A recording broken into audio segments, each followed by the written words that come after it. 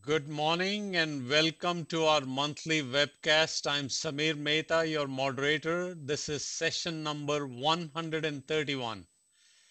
As you can see, we are making progress. At least the mask has gone and uh, no gloves either. Uh, uh, we are also back to beginning uh, the elective procedures and for you today, complex bifurcation, including and involving uh, in-stent uh, uh, stenosis of a drug-eluting stent. Let me take you to the cardiac catheterization laboratory where Dr. Exchange Sharma and Dr. it. Kini are You there still have and uh, mask. uh, No, no, for let's him. It's illegal. teach you how Yeah, to no, no. manage these uh, That's for him, complex yeah. cases. Uh, Yeah. Anu, All right, so everybody's morning. good? Yeah, good morning. Okay, so uh, yes, the mask is out for you. Uh, but of course, uh, as you know, that if you go to the supermarket or anywhere on the outside and not wearing mask, people look at with a gives you very bad look. So mask Well- has become part of our life now. Well, We can have a little more light. soon- What happened? As soon as I walked into the hospital, I was Yeah. stopped and I was Yeah. asked to put on the mask. Yeah. So I think uh, So they are allowing that mask as well as the uh, you know the uh, Purell uh, at entry of clearly. So and as you know that many of the states have eased restriction on elective cases. In the New York, is still extended for another two weeks till May 28th. And uh, but so what has happening is patients who have been waiting they're still becoming unstable. So we call it uh, emergent cases. And this actually is the classical example of a patient which will describe to you should have been elective, was supposed to go for CABG or so, but, but declined, but then continues to be uh, symptomatic so much so he was admitted uh, yesterday with chest pain. Uh, day before actually, and we'll show the angiography finding what has changed since uh, we have an angiogram few months ago. So just to say that yes, we are doing course the slowly opening up, but more important still, patients who have been deferred or still remain unstable are be, are being uh, the part of the uh, cath process at this time. Yeah. I mean, So have yeah. you encountered uh, hesitations uh, from the patients coming in? Oh, that's a big. And actually, we thought it will ease up on uh, 15th, but did not, and therefore it uh, still continues to be troublesome uh, at this time. So let's take you through uh, with the this COVID era. All had to be, you know, uh, start with our first slide. That we still continue to on a, a limited basis, and we'll take uh, through. And I wanted to just say our gratitude or uh, whatever you want to call it to this uh, COVID virus, which has really changed our life. And uh, this is uh, supported by uh, our usual disclosures are same, no change.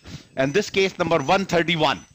A 50 year old male, a patient has known CAD, has few PCIs in the past, and presented with class 2 angina and high risk MPI that was done as a part of pre op for his renal transplantation. This patient has uh, end stage renal disease on hemodialysis, has hypertension and non insulin dependent diabetes very well controlled, morbidly obese, and uh, positive family history, plus a smoker. So, key is this patient was presented back the early in uh, late uh, you know December, I mean early December in 2019, uh, after having out PCIs in the past, and then needed a renal transplant. Some symptoms, class 2 angina, he has recurrence, but then uh, basically has a high risk uh, ischemia. So I likely this patient underwent cardiac catheterization and uh, we are going to show you what it was. And after that catheterization decision was made that this patient should go for coronary artery bypass surgery uh, because of the extensive disease. And uh, just to emphasize, as you can see here, that patient has a 95% proximal circ and 100% CTO of the ISR OM1 as well as of the uh, of the RCA, distal RCA, mid, mid to distal RCA. So those all were two total occlusions, 100% CTO, DSISR, as well as the OM1 and 90-95% circumflex lesion, that bifurcation has a moderate FFR positive uh, LAD disease and uh, high syntax score. So rightly, we felt that before going to for kidney transplant, this patient will benefit uh, for coronary artery bypass surgery, had a surgical consultation, but was declined and continues on maximum medical therapy. So his medicines were up titrated and then he was admitted with rest angina and we'll tell you why it was rest angina uh, occurred and uh, Anu will show the angiogram now. So his EDP was uh, 10. Actually, he came in, uh, like you mentioned, rest angina, got dialysis yesterday, COVID Yeah, tested, was negative. Yeah. Can see it, right? Yeah. Yes, Yep, now? now we can Yeah. see. And your mask is up. Yeah. Mhm. And this is the right coronary artery, which we knew, no change here. RCA Since it's totally same occluded, you don't, yeah, you don't see anything on the left side. But uh, this is what has happened, why he was having more symptoms. Uh, if you see here, see that a circ that was, uh, distal circ that was open in December, got occluded now. But a little more flow seems to be in the in the OM? obtuse marginal. Yeah. But uh, I mean, I it's kind of yeah. was there. But key is that the clear-cut change in Yeah. the circumflex now. So that probably made him very unstable, Uh, reasoning, uh, requiring, I mean, he actually called uh, Thursday and Friday saying that his symptoms were getting worse and we were uh, then planned that he should be getting his uh, PCI. Right. So with the appropriate, so uh, go back to slide. So the, we start the work knowing that this will require extra work now. So this patient now is planned for ACT okay? high risk intervention of the circ, CTO. Actually now we say uh, both proximal to distal circ and OM1 CTO bifurcation. So both bifurcation, some could be, may not be CTO. I would say circumflex by definition could be subacute uh, occlusion. OM1 is CTO, which we know, and uh, then we do RCA and LAD PCI in the future, uh, about a month later or so. That will be the plan. Appropriateness, this patient makes it with a three vessel disease on maximum medical therapy, so it is appropriate case for this purpose. So Anu is ready now. Come guys, start. Yeah. So we are putting a 7 French VL 3.5 guide. Seven French because of the possibility of using uh, two stents. Two stents, yes. Samin, uh, many questions came back uh, regarding what we had discussed last time regarding the approaches of uh, STEMI in the COVID era. I hope we'll be able to get a little uh, uh, Absolutely. on Uh, that. Yep, and and we will be. I'll be very transparent that what was thought process then and what is the thought process now and the society recommendations and so. But clearly, yes, even after our protocol and knowing that we have such a good, big follower, over 10, 12,000 people per episode uh, globally, uh, that we I got about like 10 uh, of the questions, uh, basically uh, kind of uh, you know uh, critically analyzing our recommendation of uh, thrombolytic therapy. And since then, we know there have been some publications. So one of the points which I will have today Ready? is the STEMI data in the COVID era.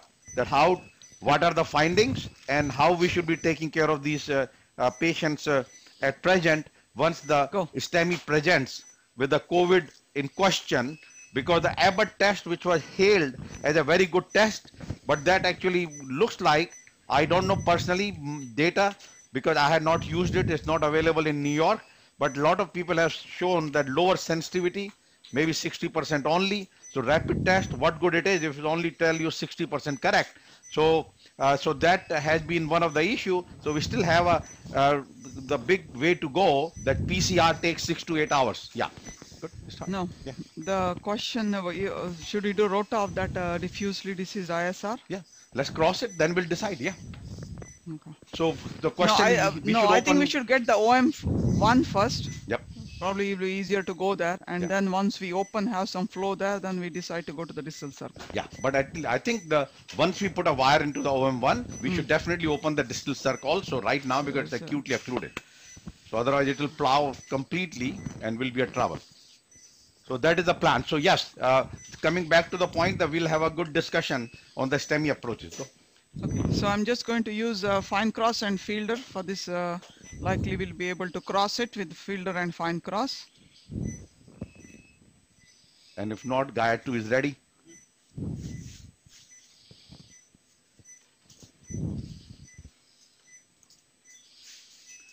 Actually, quality of image in this room definitely has moved. Uh, with- they No, got no. all the engineers and uh, No, from everywhere. No? No. Probably they improved because they give more radiation now. No, nothing has changed. Depends I on the mean, patient's also, body. also today is a good time to review, you know, s- um, Oh. many, many institutions. open Uh. Yeah. okay, here we go. Yeah. That's the circle. Yeah, that is just uh, basically we are going to do a Fogarty. Yeah, just do it. What? Fogarty. That's it? No, no, this is the distal circ. I No, we know. OM, yeah. Oh, it's not you- going. this- have a trouble, yeah. You know, Yeah, I'm many sorry. we- Yeah. many institutions look forward at your uh, much larger academic place and how you have uh, negotiated uh, uh, the elective cases. Uh, is there a uh, individual uh, strategy you follow for each patient? Is somebody making uh, individual calls? How do you convince? How do you bring back uh, the patients? And uh, I walked around and looks to be about that uh, your your elective cases are about 60 or 70 percent back. Yeah, so no, it's about, again, these are all patients who have been deferred. You want to take a picture?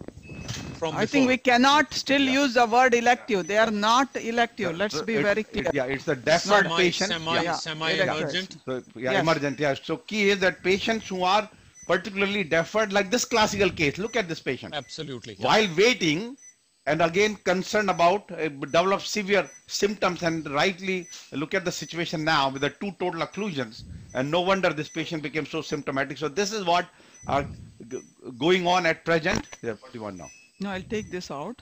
And then we will cross the OM with uh, maybe miracle because you need a little angle for Okay, but, but then bring the fine cross there. what? No, you don't you need to balloon this? It'll go away again. Okay. Yeah. Okay. Good. Syringe. No, no, not that. I think you need a smaller syringe. Here, connect it. Yeah, so we actually trying to open. What we will now, since the wire went into the distal circ, we'll leave the yeah, fielder in the distal yeah. circ and then, yeah, get me a 2 Barun. Yeah, and you see it here, they can see my hand, that I have a syringe in the hand and uh, just pushing it and try to take out our fine cross.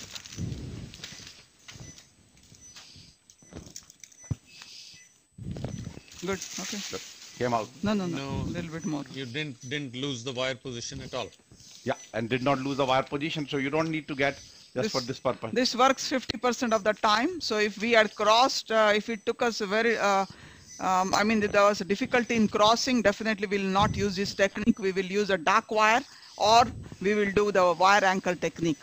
Since it was easy to cross, we know even if the wire comes out, we'll be able to recross easily. fine cross again. Anu, on a totally different topic, uh, you are wearing this uh, duck mask. Is this uh, why do you prefer this over the standard N95? Breathing is easier, or uh, Oh yeah, yeah. Uh, if- See the N95. If you have a COVID positive patient, when if we are doing a COVID positive patient, we definitely am wearing a N95. Yeah, I can see. For other reasons, uh, when we know it's COVID negative, the patient has no symptoms at all of anything to do with COVID. This is just a regular mask. Miracle. Yeah, I. If uh, if you want a proper PPE like we showed last time, you need a N95, and on top of N95, you have to wear a regular mask. Then you need oxygen, uh, uh, you know, tubing to breathe from inside. no idea how people are wearing that and doing 12-hour shifts. well, along with that, once you put the face shield over it, it continues it's to got- to condense, and uh, it's it's a big problem. Go. Don't check.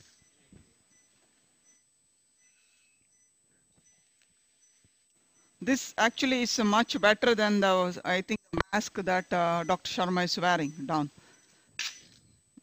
The much, uh, it's uh, comfortable and it, uh, Well, Yeah, the yeah, I yeah. the one you're wearing, the good thing is actually it is your uh, technician Pablo who taught me how to use it. Uh, slightly different than how you're using it. The top uh, go. Yeah, ties go above the head, and you create a big seal uh, around the around the nostrils. Yeah. Now you have to go a little proximal, no? The down. No proximal, nothing, yes, yes. No, proximal part of the stent. Here? Yeah. Here? Yeah, just a little bit. Good. Cannot crush the stent, then we may not be able to get uh, anything down. Okay, down. Let's see if there's a flow in the distal. Uh, now, what I want is uh, probably a miracle uh, 3. You have it. Okay, Six. go. Nice. So this okay, part is this is open. So, So I will leave the subacute, wire yeah. here and then what we will do, you have the fine cross? Yep, we're ready. Okay, ready. Anu, why the miracle uh, uh, three as opposed to let's say a Gaia? Uh, Miracle 3, I'll be able to make Mira- a Miracle 3? acute angle. Or? With Gaia, one thing I've seen, it comes with a No, pre-made curve. fine. If you try to change the pre-made curve, then um, it's difficult to get it inside fine cross or any other over the wire catheters here. Now, what is this? This is right now run through go. Oh, run through. No, run through may go also. Go. Yes, okay, let's show them why. Hmm. Because even with the fielder, I did make a curve. You see that? But since the tip of the fielder, which is a polymer coated, does not um, keep the tip well. So for the, we need a 90 degree. Give me the needle that's for the run through. Are you able to show it from the top?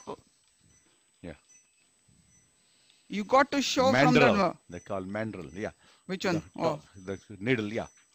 The shown. Yeah. It's shown there. Yeah. Hello, you show the camera, the top camera. Go down. Zoom. zoom.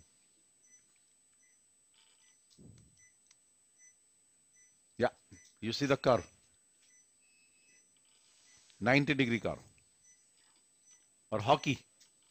Okay. Wire playing the hockey. They Put the needle back. Not.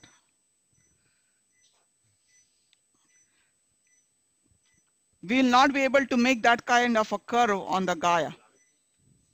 I So, mean, the- but if it's a Ga- Miracle 3, then I can make that curve if we need it.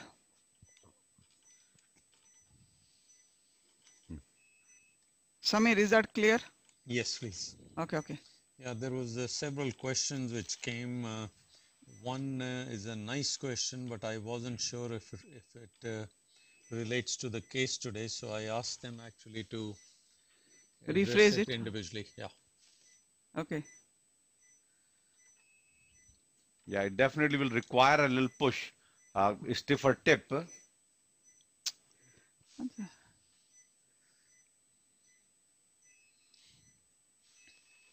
Samin, I understand you got a recognition at the SCAI meeting. Uh, Yeah, master. wonderful, wonderful. Yeah, so finally, uh, yes, got the master. So there were eight of uh, uh, us got it, and uh, the common people. I mean, of course, everybody is important, but those whom we know in our circle is Greg Stone and Paul Teirstein. Wonderful, wonderful.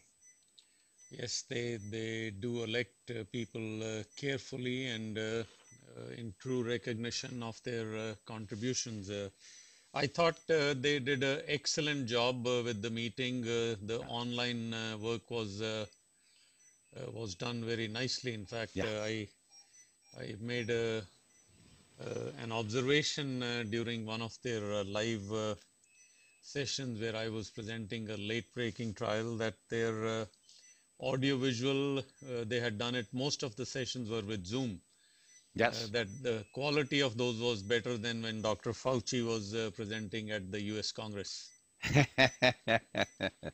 anu Okay, give me a excellent- rota. excellent job I I I did not follow was Rota this the miracle Floppy which wire. went through or No, uh, was th- it the this was a run through. run This is a run through, yeah. okay. Yeah. But uh, what was the key? You Come see that the that uh, guidance sheet. uh, the curve that we picture. made, which I showed you to again. get into Yes. that. Yeah. yeah, that was the OMB, So yeah. what we do which is we were not able to get any it with the CPO once you go through, come back, take a little picture. To make sure you are not in any small branch and so once you're looks to deciding be, what. at- looks to be in the very good. place Yep. And we'll do a 1.5. One five bar. So it goes by easy. So that our principal. Yeah. Good. So this is uh, just a single layered uh, in-stent restenosis, so no need Yes. for any brachytherapy Exactly. considerations. That is correct. Yes. That is why we planned. We went with seven French. Right now, if we have to take care of this lesion, will be a two stent strategy here. So now, since we are going to do rota, the fielder wire that's in the distal circ will come out. Okay. Yes. And it was good And we'll keep it in the side for uh, to rewire it later. Good to dilate that before. Yeah. Yeah. And just to give the point, many people are concerned that if there is a side branch. What? Okay. So now one other point I wanted to make, why fielder? Um, go- show the top camera again. So even Yeah, with the we- we- fielder, we see- I did make a 90 degree curve before going in. But look at it, since it is polymer coated, the tip usually does not retain that uh, 90 degree bend at, as it reaches uh, the vessel. So that's why we were not able to get into the OM. You can see the difference in the curve. And the other question comes is that what if you're very important, you're worried about the angulated circ, but you need to do a rota of the uh, LAD, and what you do and that what people have done using a seven French, uh, the guide catheter, then you can use the guide liner, bring it up to the ostium, so that now your rota is not exposed to the o- distal circumflex, and I then mean, yeah. several important, useful questions, almost similar to what you're uh, uh, talking about. Here is the first one by Dr. Girija Shankar Jha. Uh, Girija Shankar Jha. Can we use run through wire with fine cross support to cross the lesion? which we did. Which yes. we did, we showed you. Right. And uh, why I same reason, I think the tip of the uh, run through was able to retain the tip so that we can make the, What size? you was the know, OM1 entry into the OM1. So, One one? Samin and Anu, here is a 330. remarkable, remarkable question for you. Yes. This is a question. uh, I am going to read it exactly as it is uh, because of um, uh, many reasons of significance. It is coming from of all the pe- all the places. Never had a question from here before. This is from Namibia. Wow. I'm, I'm James from Namibia. Have been following you and have gained a lot from your teachings. Cannot thank you enough. The fact that the wire crossed to di- distal left circumflex easily, should we still call it a CTO? No, no, I definitely, yes. Only question is CTO by definition, if you say three were three months or six months, we know it was, it will be some less than six months. So three months, yes, because we have it angiogram on uh, December 2nd, it was open. So by definition, the way it appeared patient symptoms, I would not call it a CTO of the distal circ. But OM1 was total at that time, so that is CTO. No. But, let me uh, but distal or, correct. or the circumflex will not be the CTO by definition. Absolutely correct. Why you say that? He would have closed it and just got symptoms recently. No, but I'm saying recently symptoms. Yeah, I mean, we have, remember there is what's called as a micro channel, even if you're CTO, many times a fielder, fielder FC, fielder XT, Hmm.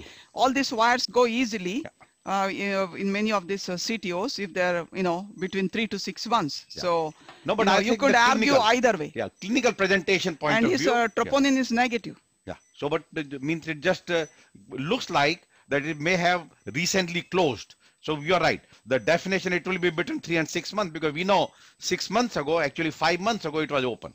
Yep. Ready? More in this case of semantics, but James, uh, thank you for writing to us, Good. and I'm glad you're finding uh, the transmission Your useful. pressure is not enough. No. I can yeah. also This tell one. you that uh, uh, I don't and we know appreciate your- uh, his comments uh, of uh, continued teaching and that actually we have uh, you know Okay, it turns out to be good let's go Done. It's okay. No, go again. Press. yeah so that even our Okay, now, uh, our uh, the last month the covid uh, we did the virtual case with a lot of covid lecture and i have at least 12 uh, uh, um, request that they wanted the powerpoints. I mean somehow they made it the pdf. So we had to I, uh, and i was first time i knew that why they made a pdf. We all our presentations had to be powerpoint so anybody can download and use for their uh, in their practice. So that our goal always have been. So if anyone they can go back to the last months and the print uh, download all are available in the powerpoint uh, presentation. Ready? we're going to the same way. We are done back and forth. Uh, and then Three we steps, dynaglide yeah. tap. Good. Nothing and we start. Good. So powerpoint of uh, the virology lectures and the slides are all available there. Wonderful. and in the powerpoint no pdf Get me the same run through wire and the fielder wire. Do you know what strength it is? Hmm? What strength? it was 3.5 No. I think 3 okay, What 3 size? Yeah. I mean, what uh, brand?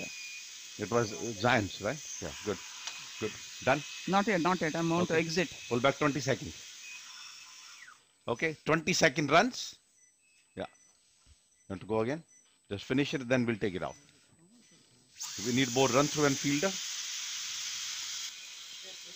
yeah good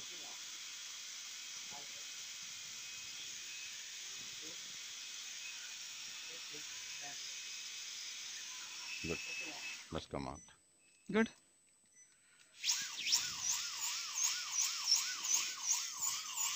Make sure this is straight.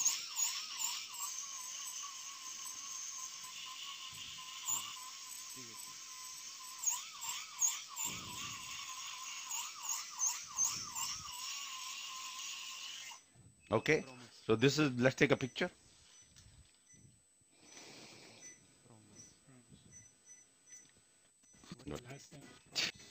Proma?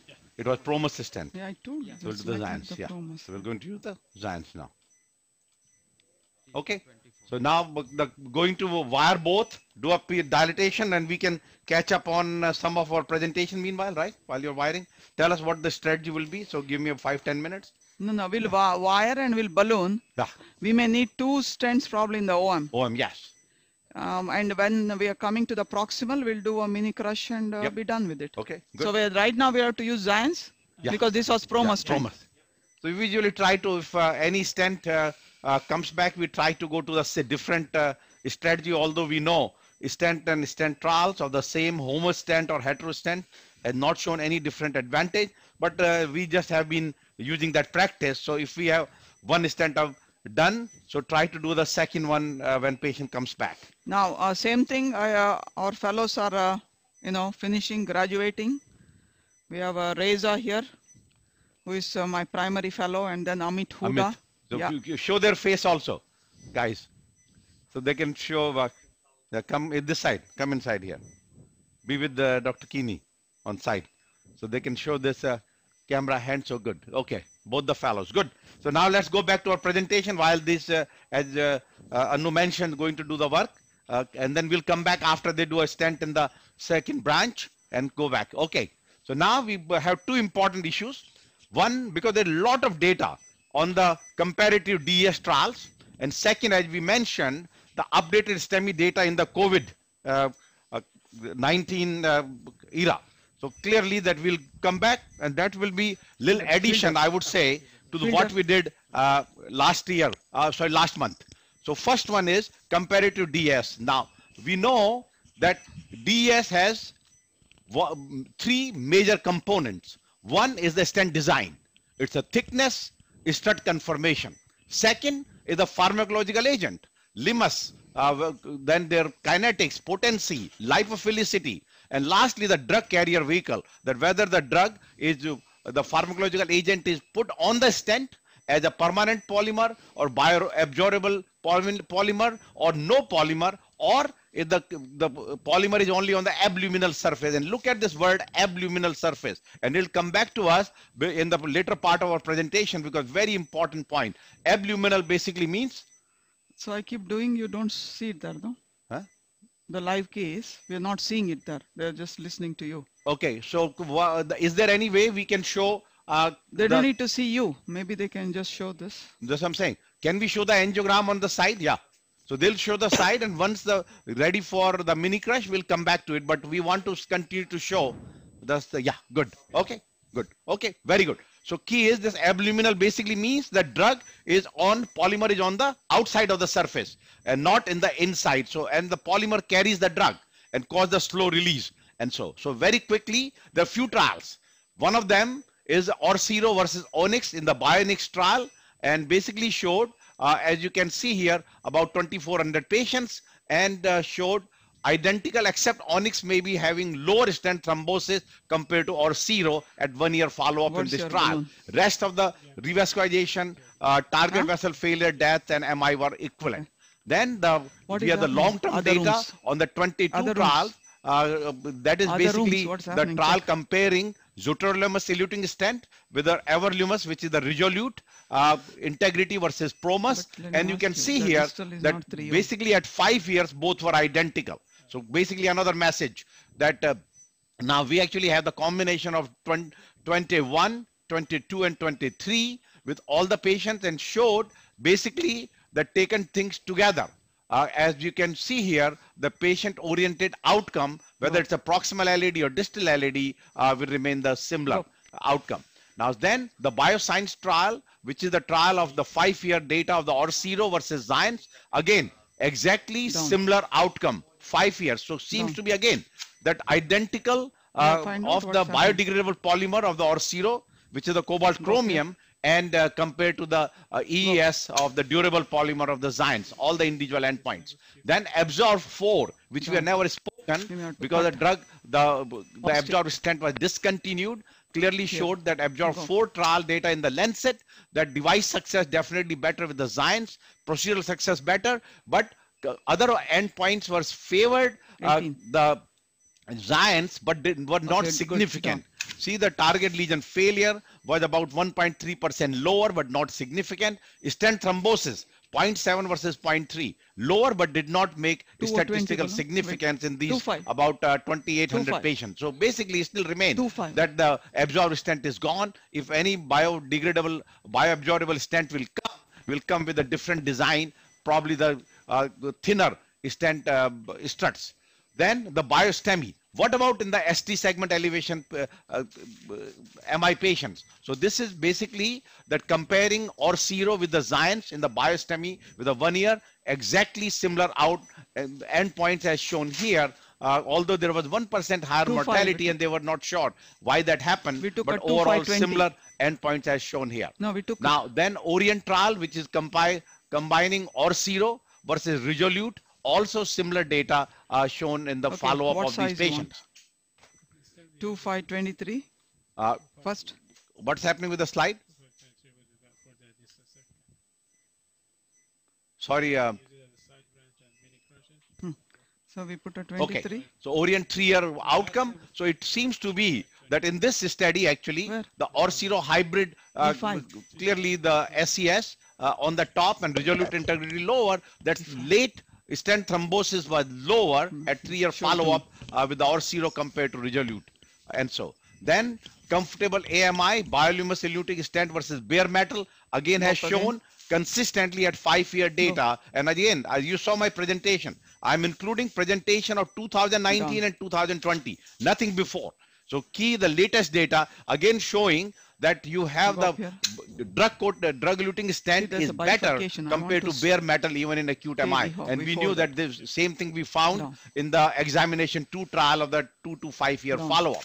Now then the new agent, new drug, Ridef, Ridaforolimus eluting versus Zotarolimus, basically Bionics or NIREUS trial, uh, comparing RES versus ZES showed a similar outcome. There is like you start getting the p-value just You kind see of trend higher before? uh, Because I didn't want to TVR with the. Ridolimus uh, stent So compared to 3 5? Zotarolimus but did not make significant. But that tells So me that if here? in a trial you have almost a, the two plus percent difference, maybe in a complex Here? case is more. So clearly that this uh, Ah, stent is three FDA approved and some centers do Three, use two it. five, no? Uh, then uh, there's some combination of the combo stent. Combo stent basically is the, the both five along with the uh, anti-CD34 antibody capture.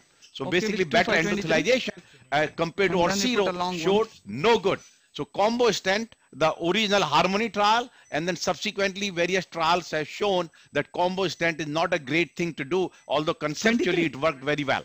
Uh, then the what about uh, small vessels, drug-coated balloon? And we know that trials have shown that drug-coated balloon versus a drug-eluting stents stent in a small vessel that clearly restenosis is higher with a drug-coated balloon. So clearly that I would say that even So in small vessels, like the drug-eluting stent should be the strategy. Now, the two, uh, two or three points I really want to speak about uh, the latest data of the this year kind. So this is the Onyx 1 trial. Patients who are high risk for bleeding, old age, prior intracranial hemorrhage, stroke, uh, admission for bleeding, and of course uh, have a cancer, plant surgery, thrombocytopenia, liver disease. They compare Onyx DES with a biofreedom drug-coated uh, stent. So basically was a polymer-free stent. Remember this was used in the leaders free trial, which showed that with a short DAPT, it did quite well compared to bare metal stent. So now we compare the biofreedom stent with the Onyx in this Onyx trial published in NEJM and showed that by one month of DAPT, using Zotarolimus eluting stent of the Onyx compared to the polymer-free drug-coated stent or the biofreedom have exactly similar outcome. So seems to be that you can use your drug-coated stent, drug-eluting stent, and have a even one month of DAPT was good enough as Okay, shown good. in this Go study.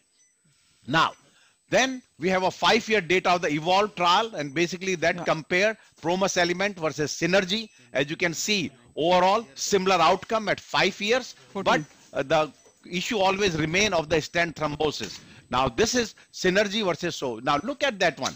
So first one month, they have a stent thrombosis in the synergy, Down. and I'll come back to this point compared to Promus element. Now overall, lower stent thrombosis 0.7 versus 0.9. But look at the early stent thrombosis in first 30 days. Very, very important point, which we are going to see uh, in uh, you know cases and uh, subsequent presentation. So, So, key is this evolved to five branch. years, both This is the main similar, but maybe want, very non-statistically significant, non-statistical incidence, I would say, of early stent thrombosis. Because of that, there's a lot of from the 35, MAUDE 33? database of stent thrombosis with the bioabsorbable polymer, and, 30, DS, and they actually from the D, uh, FDA database and showing that bioabsorbable polymer on the 3 or left side is stent thrombosis. Uh, it definitely seems to be higher compared to other uh, devices, uh, other stent designs. Now then we have the data from the Bern. Bern uh, from Switzerland, they actually presented data of six years comparing the Xience versus Synergy stent, and they actually have a very good policy.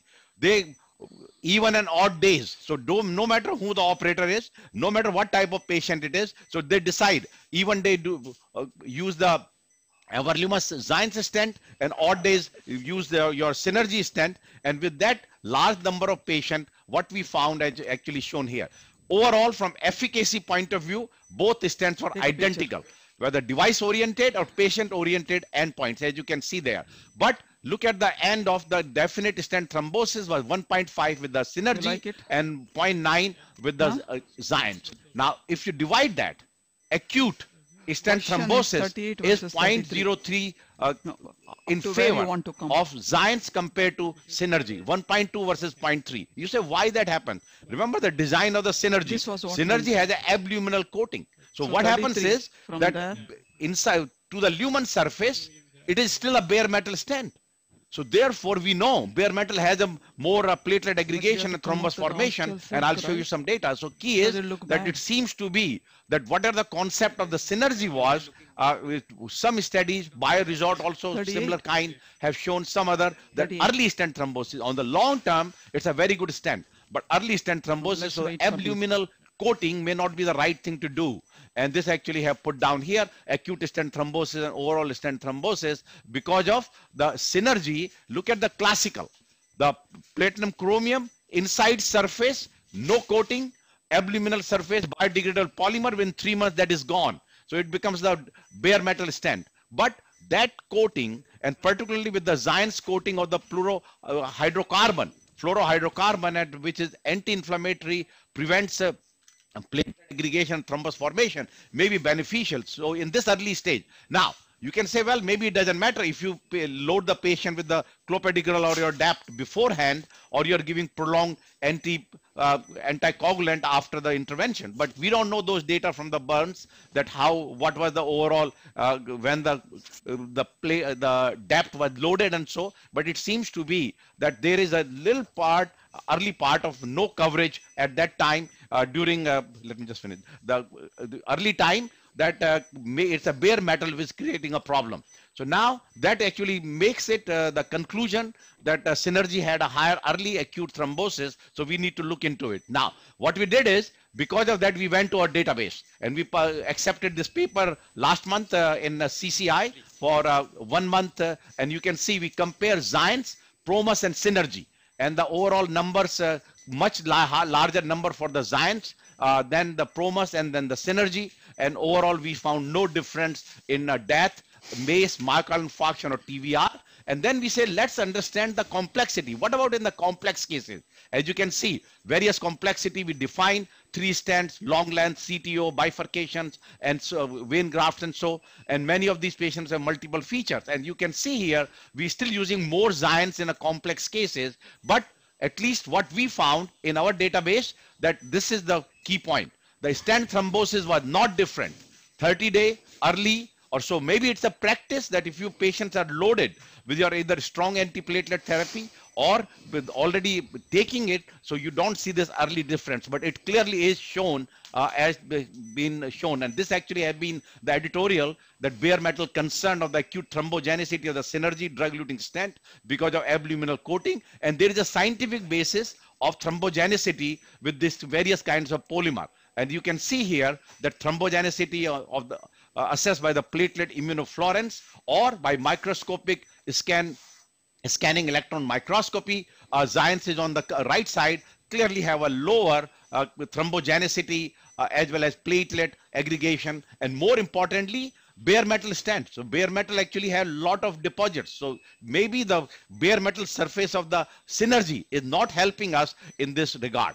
So there clearly it's a, there is a difference in the polymer. And particularly with the Zions, I have to say the based on the data available, it somehow it is a, a thrombus and platelet resistant and consistently have shown the lower uh, thrombosis and so. So therefore, the question is all drug-eluting stents are created equal, uh, and this actually has been to the FDA level. And I would just say, and this I'll conclude this part now, that current DES is better than BMS, even in STEMI, small vessel Okay, or ready? high bleeding risk cases with a DAPT of one month. All current DES seems to have comparable target vessel failure, MI and TLR. And then Okay. platinum Take chromium. DES seems to have higher early Tell stent you like thrombosis compared to uh, durable polymer. And polymer-free duct-coated uh, stent have similar I think we're good. efficacy as the traditional. I now, can, with uh, that I note, we can come to the presentation, please. Anu, Okay, bring us up to update here. speed with what you've been doing. So Uh, we just been- uh, we pre-dilated the OM and then we put a 2523 Xience in the distal part of the OM1 and now we have two stents 35 um, 38 in the proc circ to OM1 and a 3015 which is in the distal circ. so, So this is the mini crush that we uh, want to do. Three stents. Yeah. Total of three stents, yeah, And mini crush. mini crush.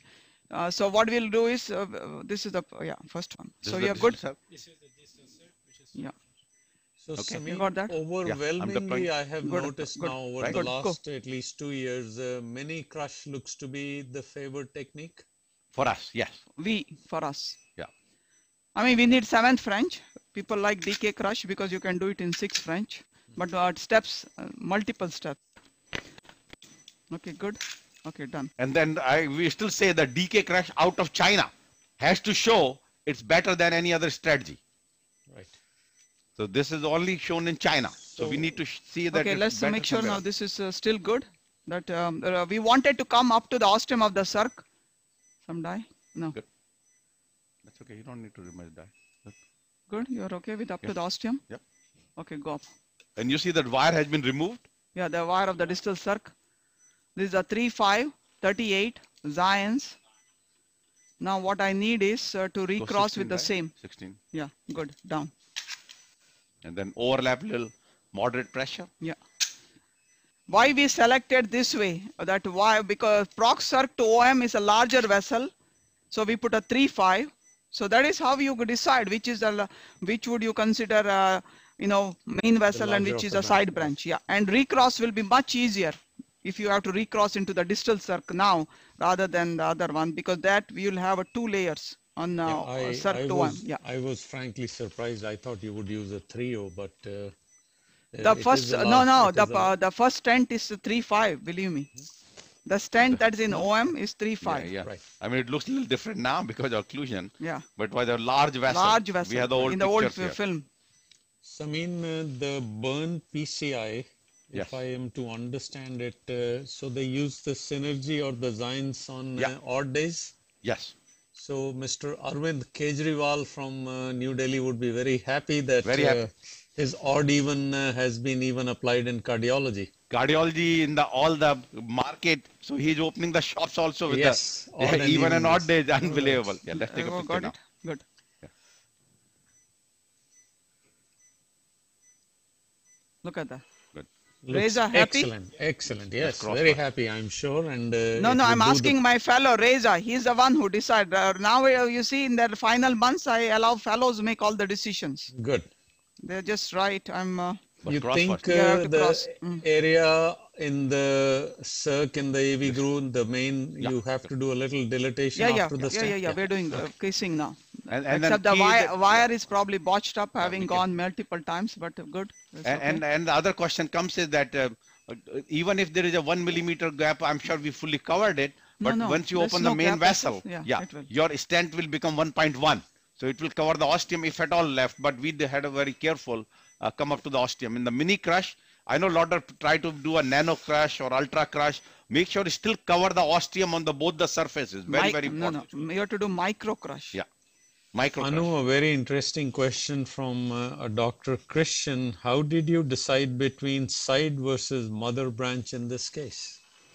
Uh, always I, uh, you have to decide based on the size of the vessels. Uh, same thing, I think uh, even for left main LAD circ, and we have mentioned this on the bifurcate. As soon as you open the bifurcate app, first thing we say that, um, you know, we always consider LAD as a main vessel, left main LAD as a main vessel compared to the left main uh, circumflex. So, Uh, but uh, is, depending on the size of the ves- vessel, so if the circumflex um, is a larger vessel and LAD is smaller, you will do circumflex main and LAD small.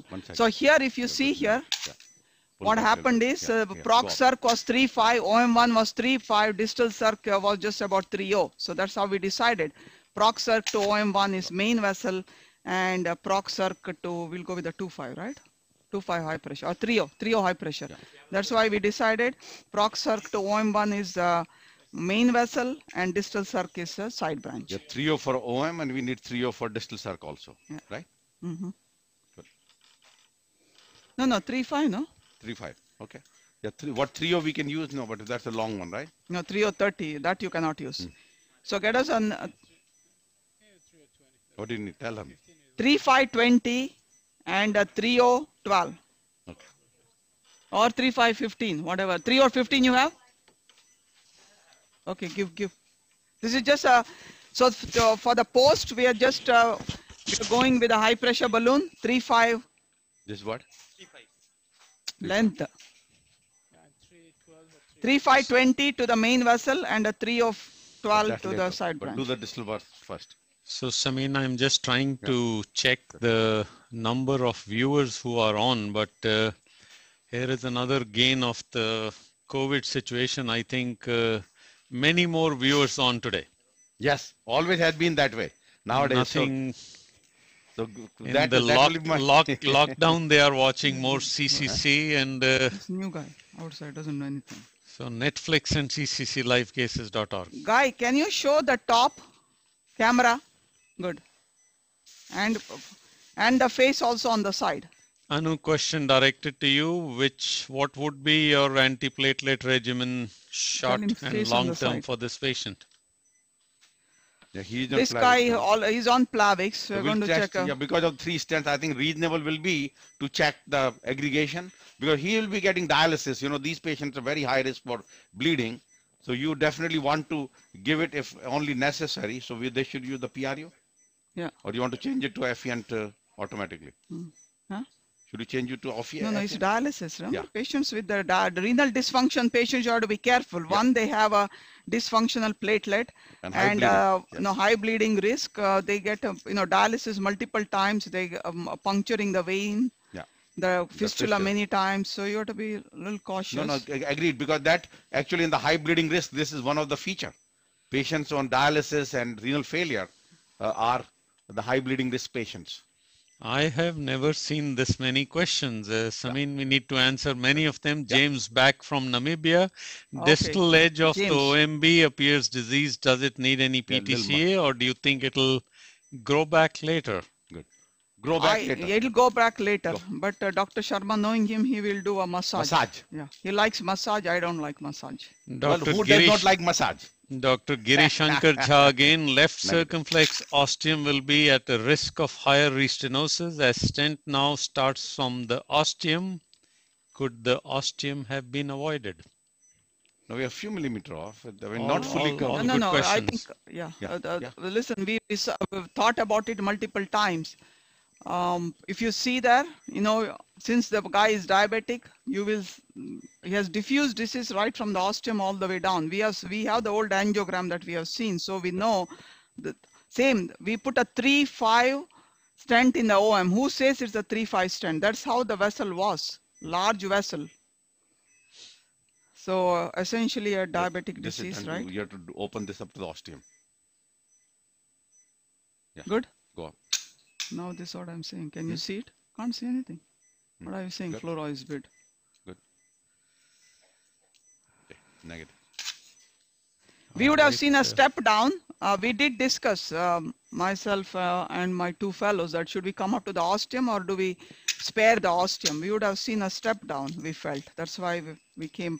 It's not true, true ostium, probably two millimeters off. Yep. Agreed. Negative. Okay, down. Okay. So Nice with done, cutting balloon. Go back to our And what we'll do is for the distal uh, part, we will give vasodilators and see before we make a and decision. if we are two a balloon if need to So be Yeah. little. that's that's the Massage. final answer, uh, James. I was uh, I For knew James, uh, we, that's the Right, answer. We exactly. give some vasodilators. both. and see and how it uh, responds. if it looks Nitro good, we are done. verapamil. Otherwise, we may have to do a massage. All excellent observations, uh, very interactive. Uh, thank you for all the questions which have been pouring in and uh, We're taking pictures. Give the medicines first. Don't show it. No, take picture. One second. Let me go One second. negative. And the last picture, we'll do some low max. So we want to make sure the distal vessel is okay. I mean, during the entire, uh, this is uh, uh, You gave good slightly flush. tricky question to be uh, uh, asking, but I know that uh, Good. so many I think people distal who vessel follow looks us, good. Yeah. they they both uh, yes, it looks uh, uh, there is some diffuse disease there, Yeah, but. that- uh, okay. But Well, that I mean, uh, everybody in the cath lab, nurses, technicians, uh, physicians have been staying healthy. Yes, and they're all getting healthy. tested and all getting tested also. That's the key. So clearly what happened is, as we learned from the uh, Chinese experience, that once you have a proper precaution, the chances of getting infection are much lower. So key is that availability of the PPE for the healthcare staff and healthcare staff taking extra steps as shown uh, by Anu last month that they have to go through this process if you are involved in taking care of this COVID patient. So we have a dedicated COVID lab, which is cath lab, lab number one. And there we have two sets of staff. Nurses and technicians remain inside the room. They cannot come out of the room. And we have separate uh, nurses and technicians in the control room. So whatever need to be done, given to them. So clearly less movement and uh, dedicated PPE uh, situation really helps uh, to limit uh, this virus transmission. Before we go to the second point, uh, Anu, you want to make a comment and then we go to our second point of the STEMI. Yeah. No, I just want to see if they have any more questions regarding uh, this technique or what we Let's did. take the last picture so we and we're come going out to with the guide. last picture Yeah, and uh, PP, yeah. I think we're good. Huh? Anu, it's been uh, excellent result, Right. uh, good techniques, uh, uh, Low mag, right? particularly the crossing of the left circumflex. Uh, excellent Beautiful. result. I, it's I to think get- no doubt at all. But but indeed, uh, as some people had observed, there is a distal disease in the OMB. yeah, Which you not expected. No okay, reason. let's go to right, the slide no, presentation. No reason to change that. Yeah. And Samin, you're going to address some STEMI The issues. se- uh, yeah, the second. So this we are done. Now we go to the second point, and that is the updated STEMI data in COVID-19. Guys, everybody should listen to this anyway. That a lot of new things are happening. So few things. Cardiovascular manifestations, the ACS and AMI have been reported in COVID-19, both type 1 and type 2. Second, STEMI with normal coronaries can occur, 40% of cases. We know that even STEMI, all the data have about 4 to 5% have normal coronaries because they thrombolize spontaneously. But in the uh, COVID, 40% normal coronaries. And many of them have regional wall motion abnormality and ST elevation. High in-hospital mortality of 40 to 50%. Third, myocardial injury is common and has bad prognosis, 45 to 50% mortality. Myocarditis has been reported. Pericardial effusion, Takotsubo cardiomyopathy can occur, and of course, various manifestation of, C, of uh, the CVD, cardiovascular disease uh, system, has been shown. Uh, these are various uh, cases, uh, you know, the depiction. So who gets it? We learned about last time, older age, patient with a lung disease, cardiovascular disease, diabetes, obesity, and of course, uh, other immunocompromised patients and so. This actually is a very nice uh, manifestation of COVID in terms of uh, cardiovascular manifestations at various levels that when virus comes in uh, through the endothelial cells, cytokine release and working both micro and macro vessels. And one of the things which has come up actually quite a bit is the term called endothelitis.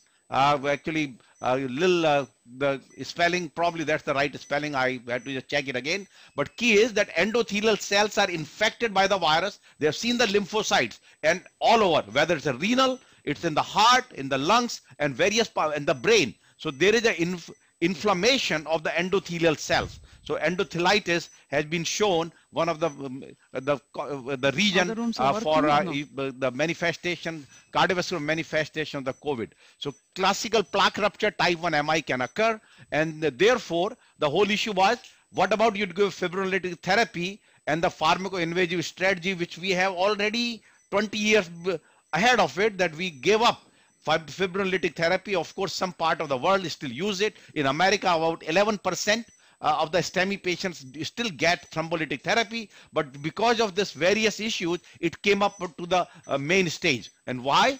Because of the current situation analysis. That is, that all the ICUs, your staff, everybody has been converted into the COVID unit. So nobody is available. So and of course, the pre-hospital PCI activation has been suspended. Because of that, ischemic times to become longer, and many patients actually refuse to go to the cath lab.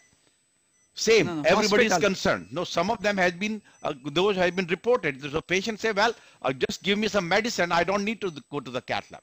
The other is, but key is that we have to redesign the STEMI care. Dual goal, timely reperfusion and healthcare provider health and safety. So both had to equal. Until now, we just worried about the reperfusion, but now things have changed. And of course, the patients without thrombolytic, you need to give fibrinolytic, the cath lab which have no PCI. Think about fibrinolytic and if there is a delay in the transfer or patient with a PCI capability, use, do the primary PCI with the proper uh, uh, protection equipment and of course, if there is some region, maybe you can decide if your staff or lab and beds are not available. Very important. And so, and the key is that after you do take care of these patients, send them to telemetry unit. Don't send them to ICU. ICU should be reserved for very for complicated MI or patient, of course, the COVID unit. And there should be a separate COVID telemetry and non-COVID telemetry. You cannot mix them. And also the cath lab where you do it, they need terminal cleaning. So take 45 to 60 minutes to clean that room after each case. And of course, then subsequent telephonic and telemedicine follow-up is very important. So there, I, there, are a lot of reports even in India that heart patients opting for clot buster instead of angioplasty and even here also. So what we did is last month in our presentation based on the available data at that time, which is now about five weeks ago, we presented this uh, algorithm which highly relied on giving thrombolytic or fibrinolytic therapy uh, and so and of course uh, some cases can directly PCI and we know that we still have a delay in testing so that has to be incorporated and since then the second part is of this proposition is why fibrinolytic therapy for STEMI in COVID-19 is not your new best friend. Why? You see it here. We know that even in non-COVID patient, you have a TIMI3 flow in 60% of cases. And we know it's a time dependent. Somebody comes after 60 minutes, forget it, thrombolytic, which even work maybe in 30% of cases. Recurrent ischemia, both are exaggerated in the COVID patient as shown on the right side. Hemorrhage, 2 to 3%, which will be further in these patients because of their endothelial dysfunction. Non-obstructive CAD, which occurs 5%, uh, up to 40 to 50% occurs. Of course, only advantage is reduced staff exposure, consumption of PPE, system proven delays, but more important, many, many of these patients after thrombolytic, they'll need cath lab anyway. So therefore, the, the latest guideline from the ACC and uh, the SCAI came up in this uh, document uh, about management of acute MI during COVID-19 pandemic and they go through all the process which we spoken about uh, taking care of the patients and dedicated and they came up with a nice algorithm of patients with the primary PCI lab which is on the left side positive or uh, COVID testing thinking that COVID is not available, test is not available when patient came with STEMI, which is the right thing to do. Ultra rapid test, I think it's uh, out of the window. So you have to go with a COVID-19 possible, or we have documented negative for some region, and your strategy is on the right side, go directly. On the left side, you go with the regional wall motion abnormality by POCUS, which is the point of care ultrasound. If it is, then you go with the STEM, uh, with the direct primary PCI. And of course, in the questionable cases, you can add with a full EC, full echo, and also use the CTA to uh, decide in some of those cases. Uh, and then patients with the referral center, they actually there, they give a concession that because of various issues, there could be a time delay. If you perceive time delay of more than two hours, it will be reasonable, do a fibrinolytic, and then if patient resolved, then keep the patient there. Don't send it to the tertiary center. Unless patient uh, is failed or develop recurrent uh, recurrent symptoms and only those patients or patients with the uh, hemodynamic instability should be transferred. So what we have done is we actually have combined this. If you see on the right side, the patients with a COVID-19 negative or possible, we take them to the cath lab, post PCI care, preferred in the non-COVID telemetry unit, avoid ICU. Then patients who are COVID-19 uh, positive or probable waiting, you go with the classical symptoms and limited echo. And if there is a limited echo shows wall motion abnormality, bring them to the for a primary PPCI, primary PCI, but then dedicated COVID procedure cath room, full PPE to the staff with aerosolized protection and post PCI care in the dedicated COVID unit. Clearly, we have incorporated that equivocal cases that you have a discussion on those cases, what to do. Coronary CTA, full echo, chest x-ray, and then decide the some cases maybe some delay will occur but they actually the acc uh, our uh, ncdr has incorporated this system delay for these cases and you'll not be penalized and proceed with a consensus some cases which may take a little extra delay. We also know some of the floated covid patients may be very sick. So those are uh, have multiple comorbidities. Maybe those cases just continue medical therapy there is because adding procedure in these cases will not add much to their overall uh, prognosis. So Anu, you want to comment on this uh, slide? That is our new updated uh, Mount Sinai protocol. And just to update, the last one is that patients, if even transfer, if they can come in timely fashion, two to three hours, okay. But if more than two to three hour delay is perceived, then we are asking them to give fibrinolytic or thrombolytic therapy. And actually they have so far not given to anybody. Yeah despite us, uh, you know, mentioning uh, even in the past, not many patients have presented with STEMI. Uh, of course, we have seen many uh, patients with non-STEMI where uh, I think if they are COVID negative, they came to the lab, COVID positive, most of them were florid COVID symptoms, in which case they have, you know, half of them had cath at some stage and many of them never had a cath. Um, so uh, right now, you know, the new cases are going down, so I think people will uh, just follow if the patients are there with STEMI, you know, call the cath lab and we just have to go through the usual guidelines, uh, whether they have a COVID exposure, COVID uh, symptoms, otherwise, uh, you know, just bring them directly to the lab. Anu, I, I actually reviewed some data recently from Miami, and uh, some of it is uh, a little uh, different than uh, what we have been sharing here, but I think it completes the picture. Or uh, we had 19 cases uh, of STEMI presenting last month, so our incidence for whatever reason has remained the, the same. The real challenge has happened with the Abbott rapid test, which I think has totally messed up the situation, and we are leaning back into taking a very, very proper history from the patient, uh, you know, not relying on on just a test which could be only 70% accurate. Uh, Samin, the article you reviewed by Bangalore and uh, Ajay yeah, We'll come back to that. Yeah, I'll, I'll yeah. come back to that. Yeah but yeah. it's it's it's exactly the old uh, things which we always yeah. used to to to understand right. uh, to me when you are reviewing the parts i think the two real relevant things is uh, do not worry about the door to balloon times in the present crisis yes. And patients from a non pci institution who they routinely just quickly transfer i think uh, should be kept there that is absolutely correct and that's giving the and there giving uh, thrombolytic is very easy Absolutely. Them and there's no reason to transfer. Right, I know transfer earlier, them. yeah, earlier recommendation was the ship and uh, the drip transfer. and ship. so transfer. So those cases, if they, let them just have their course and they can have elective cath one or two weeks later, if right. necessary, not in first 24 hour, which has been the strategy of the pharmacoinvasive approach. So just want to say to our listeners and those who follow us on the CCC live, this is the Mount Sinai protocol now uh, compared to what we presented last month. So just come back to the, the, just to say why this data, one of the biggest thing which has come that now you're giving thrombolytic to 40% of cases who had no obstruction. So this is the normal coronary. This is the data close. from Italy. Uh, and of course, the look at the mortality about 40%. And many of them also have a regional wall motion abnormality. So key is that localized wall motion abnormality is very common despite the normal coronaries in these patients. Now, these are the data of uh, 19 patients from New York, uh, 18 patients. We showed that look at the chest pain occurred in only two-thirds. Others have very atypical presentation and uh, also that uh, the regional wall motion abnormality and uh, ejection fractions and all shown here.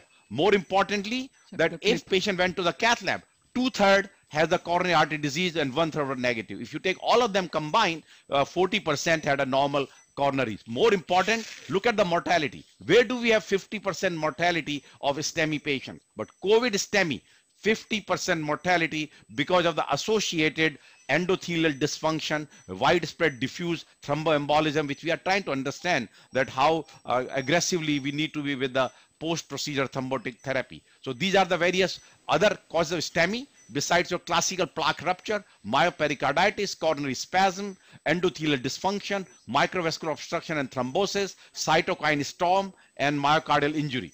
So these are the clear, and I just want to complete uh, which our uh, point which we did, although this more and more coming, that uh, we are seeing the lower incidence of STEMIs and so, but now when the time passes by, that actually the theory may be getting less and less because I think uh, patients are kind of uh, accumulating. So this, although the data were that 30 to 70% reduction in the STEMI uh, globally, and we actually have activation 25% versus 15% in North Carolina, as you can see, lower STEMI activation at Sinai. This was our non-STEMI and STEMI numbers. Last month we had two STEMI. We used to get about 8 to 10, including Sinai and transfer. We are only two cases uh, the last month and uh, that was part of the New York State, uh, sorry, uh, our uh, New York Time, uh, basically showing that uh, heart patients and stroke patients are decreasing and uh, the various reasons for it. Even uh, the, the insurance claims for acute coronary syndrome has significantly declined 80%. So clearly the decline for serious condition, including appendicitis, cholecystitis, may be all related to the food. Uh, and so, so it's not only the cardiac, stroke, cardiac, and, uh, and the other food? acute conditions. Then second is that while we are having a more COVID patients, and if you go with the respiratory illnesses and influenza, there is a higher incidence of STEMI. What that has been actually well confirmed by many publications in the past. This was from Canada. And look at the days from influenza episode. You're six to five, six times higher incidence of admission with STEMI or other respiratory illnesses also compared to control. So clearly the influenza epidemic, you have a higher incidence. Second also, uh, the all kind of respiratory infections, higher incidence in the early time when the infection occurs, STEMI occurs, and they actually have a theory behind that infection basically causing the plaque rupture with the thin patient have vulnerable and then early infection because of uh, infection giving through various of uh, interleukin and so as it led to the plaque rupture causing both type 1 as well as type 2 MI. So question we are saying that uh, patients some of them which are having a lower various regions. One we are worried about it. The patients are worried not coming to the hospital uh, and uh, er second mark reduction pollution overall improved mental and physical health and the balanced diet home cooked meal low high calorie uh, and the fast and restaurant food is gone. Low salt intake better medication compliance all probably leading to various factors. So question always comes could it be patients dying at home? I can tell you that of course these data we continue to hear. Anecdotal reports some patient did not come to the hospital but majority of them it is not true. Maybe 5 or 10% is responsible for that but not others. Other is basically the pollution issue very low pollution which directly related with the nitrogen oxide and uh, free radical causing uh, trigger of pro-inflammation, and this actually has been a directly uh, I don't know. From related to cardiovascular event. Then chemical and gestate, You just lose trigger, a particularly we basically what we eat, uh, directly responsible for what we manifest, high blood pressure, endothelial dysfunction, better food, and then key is you have now improved physical and mental health. And uh, this actually has been shown by many studies, recent being that healthy lifestyle in a 40 to 70 year old uh, patient without major chronic disease, that if you take BMI, smoking, leisure time, physical activity, and alcohol consumption, four of them, if you take them, if patient follows, you can see healthy lifestyle score. If you follow all of them, your lifestyle, life uh, uh, style, the modification improves the overall the longevity of the man and women, whether it's a any age group, all patient with the various socio-economic strata. So keen seems to be that healthy lifestyle is associated, and that is what we are hoping that may be a lower incidence of chronic disease. So this has to be seen because long run it might work out because if the people are unemployed, will create create a trouble. We also learned that uh, it's okay to put off the having a heart procedure. That was a part of the discussion today. Elective cases, but if you are unstable, don't wait at home. This actually has been the report also over in US news and therefore various factors have come into equation what we are doing at present from the COVID-19 containment which is in the green bar on the top. Reduce physical stress, healthy eating and low, reduce What drinking and smoking, reduce air pollution all have led to on the right side bottom the decrease in acute event or it is not reported. Only time will tell which one is the major factor of this lower incidence. So with that note, uh, we just continue to emphasize to the patients, don't stay home. You got a cardiac problem. You need to call 911, call your doctor. Most of them want to avoid the emergency room, which is okay. With the telemedicine, telehealth, try to get to the doctors and so. So let's complete quickly uh, two important to take home messages. Uh, one is the comparative DS trial that various drug eluting strategy of polymer free or biodegradable polymer or durable polymer or of DES have shown similar efficacy and safety in terms of target vessel failure, MI and TLR. There are few reports of higher acute early stent thrombosis with the biodegradable polymer of the platinum, platinum chromium compared to others. Current DES have shown to be superior to BMS even with one month of DAPT in STEMI or high bleeding risk patients. Second, STEMI in COVID-19 is associated with very high incidence of normal coronaries and high in-hospital mortality and practice of primary PCI is appropriate in these patients with proper PPE of staff and isolation units rather than thrombolytic therapy except in cases where longer system delay is encountered. The observation of lower STEMI in COVID-19 era is real globally likely due to multiple factors of relaxation, lower stress, reduced uh, gustatory trigger and lower pollution. So three questions. Following are the true statement regarding most of the comparative uh, DES uh, bioabsorbable uh, polymer DES versus durable polymer uh, DS trial, similar MACE, similar target vessel failure, similar MI, similar early stent thrombosis and similar bleeding. As you saw it that there is higher early stent thrombosis with the biodegradable polymer. Second, following is the stent trial in the high bleeding risk patient, bioscience, evolve 2, onyx 1, 20 and BIOSTEMI, clearly onyx 1. And the third is the following are the true statement about STEMI in COVID-19 era, except plaque rupture is common, normal coronary is rare, very high mortality, regional wall motion abnormality is common, and typical symptoms and localized ST elevation is common. So basically we know that normal coronary is more common, answer is B, and this is the incidence 60, 40, 50, 80, and 60 of uh, by various uh, publications of the individual uh, manifestation of the COVID STEMI. And with that note, I present, I complete our today's presentation. Samin, uh, excellent uh, review. I knew there would be many follow-up questions uh, regarding thrombolytic therapy versus primary PCI. My own personal take on this matter is that only time will tell us how much was the fear factor which kept the patients out.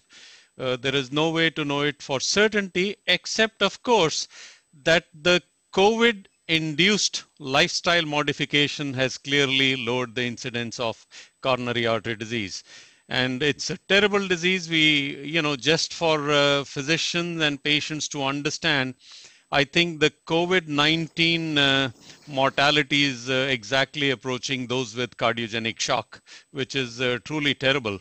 Uh, Anu, final comments from you regarding uh, the case, some uh, uh, absolute take-home messages uh, for uh, for our physicians who I want to thank today. So many of them were not even not only following but uh, kept it very interactive.